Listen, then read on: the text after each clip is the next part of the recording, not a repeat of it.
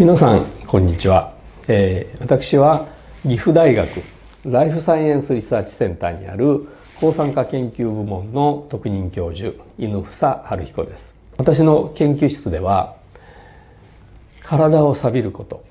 酸化ストレスね。その研究をしていてどうやって酸化ストレスを抑えたらどういう病気に効くのかというような研究を広くやっています。その研究の一部をこれから紹介していきます。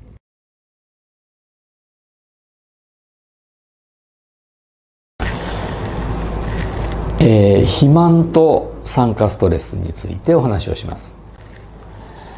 えー、まず肥満の状態というのは、えー、基本的には血糖値が高いという状態が多いわけですね。で血糖値が高いと何が起こるかというと、えー、グルコースが血糖値の本体なんですがそれを非常に簡単にエネルギーにできるものですから体の細胞のミトコンドリアというエネルギーを作る小器官が、えー、お仕事しなくなってしまうんですね。で、えー、通常はタンパク質とか、えーまあ、アミノ酸ですねそれと脂質油ですがそういうものからエネルギーを作る時はミトコンドリアはすごい一生懸命働かなきゃいけない。でその働く時に我々が呼吸で取り入れた酸素を使うんですがそれが使われないということになります。ですから酸化ストレスが上がるんですね。ですから、えー、血糖値が高い状態で肥満があるイコール酸化ストレスが高いというふうに言えます。ただしこの状態で酸化ストレスだけを下げてもそれが血糖値が下がって肥満が良くなるのかというのはこれはえ反対の道はないわけですね。ですから酸化ストレスを下げると同時に血糖値を下げるということをやっていただかなければ肥満は改善しません。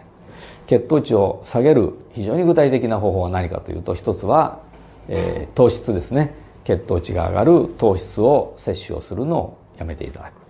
そしてえー、いわゆる血糖値を下げる運動をですねしっかりしていただくとこの2つをやっていただくことで、えー、肥満というのは、えー、どんどん改善していきます。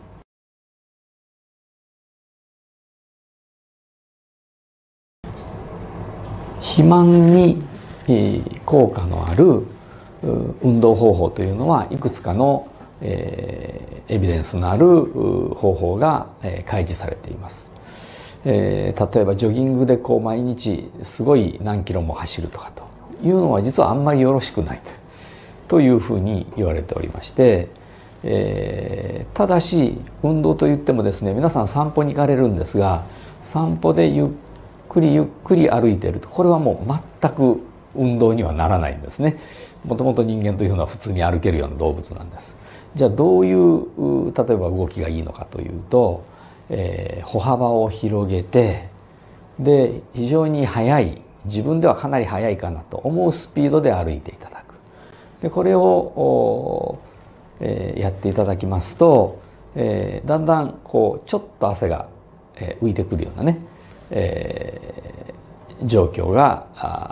わかると思うんですがそれぐらいの運動を、えー、距離的には3キロか4キロそれを週に23回というのが好ましいと